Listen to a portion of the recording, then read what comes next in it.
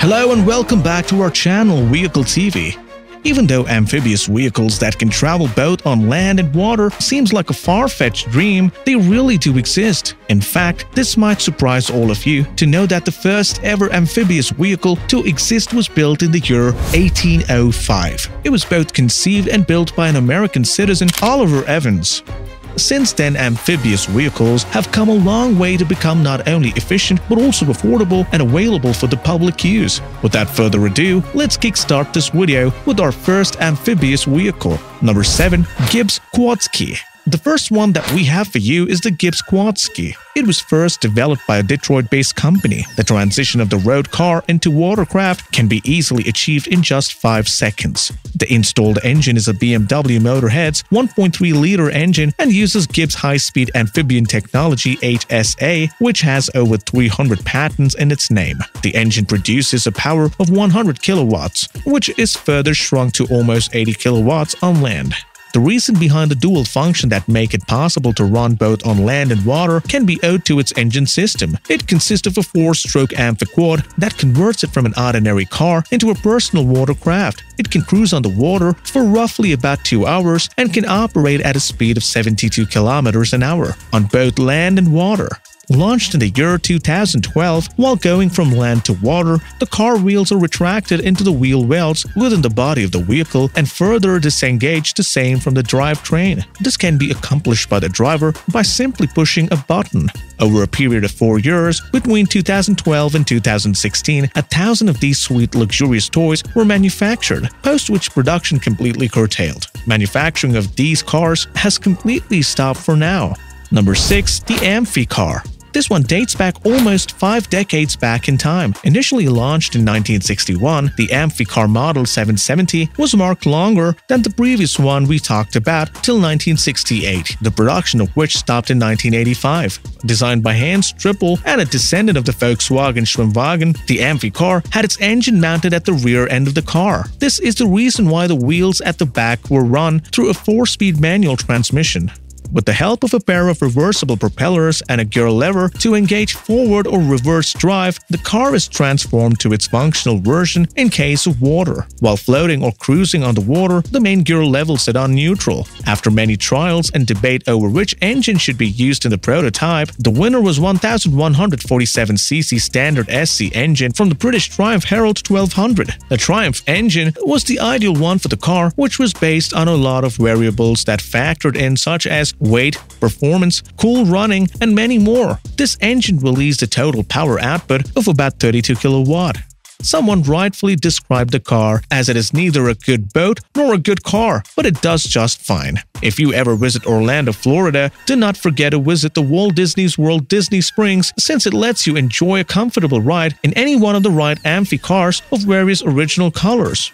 Number 5. Gibbs Aquada well, this one is not that old or recent. Launched in the year 2004, Gibbs Aquada puts the previous two cars way behind with respect to the technology used and also the speed at which it runs in the land and water. Gibbs Aquada was developed by Gibbs Sports Amphibians and has the capacity to run at a top speed of over 160 km an hour on land and not more than 50 km per hour on water. A car that has over 60 patents to its name in the field of technical innovations. The Aquada was a limited production concept. The production of this car was for a very short while between 2003 and 2004. A predecessor to the Gibbs Quadski and Gibbs Humdinger, this one had a 2.5-liter Rover V6 engine and was conceptualized to the utmost detail to perform well on both land and water surfaces. Number 4. Rinspeed Splash one of the most successful concept car builders is the Swiss company called Rinspeed Inc. The company designs various exotic cars without entering into their production business. It was founded in 1979 by Frank M. Rinderknecht. One of the most beautiful concept car designs developed by Rinspeed Inc. is the Rinspeed Splash. This amphibian car vehicle comes with a hydrofoil design that helps its capacity to run at nearly 83 kilometers an hour on water and not more than 200 kilometers per hour on land.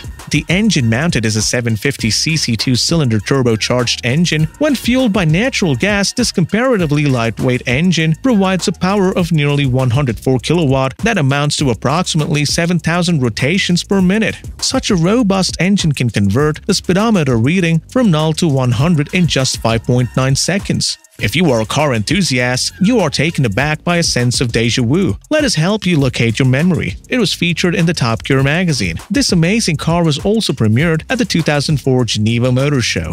Number 3. Lamborghinis, Countach's Amphiborghini when we think about Lamborghini, we think of money. The exorbitantly expensive Lamborghini Countach recently came up with the only amphibian vehicle which is much more affordable and priced at not more than $27,000. Mike Ryan built the Amphiborghini, whose actual design name is Z1A. He's also the founder of England's Sea Rotor amphibious vehicles. He was also the person behind the screen who built oldest amphibious project vehicles for BBC's Top Gear.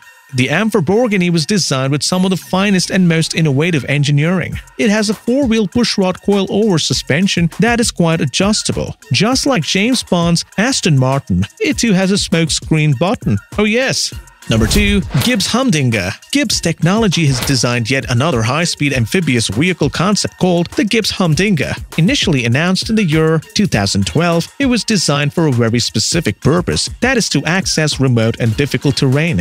Gibbs Humdinger uses the HSA technology, similar to the Gibbs Aquada that we mentioned earlier. However, these vehicles are not open for buying by civilians. The vehicle transforms itself by simply pushing a button to travel from land to water. The wheels retract. What happens next is that the powertrain disconnects the wheels from driving and kickstart the jet propulsion system.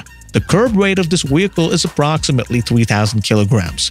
Number 1. Hydra Spyder The Hydra Spyder provides its riders with a unique experience to inhale the most pollution-free air around the water resources in which it is driven. Thanks to its amphibious sports car open-top feature, production of the Hydra Spyder began in 2006. The Hydra Spyder is both produced and marketed by Cool Amphibious Manufacturers International LLC. The vehicle can comfortably accommodate four people. Additionally, it has a robust engine that has a power of 500 kilowatt. The standard model of the Hydra Spyder engine makes it strong enough to pull water skiers. There is an instant switching to a different engine system and simultaneously the wheels getting tucked inside the car. The car is now watercraft and ready to power through the water.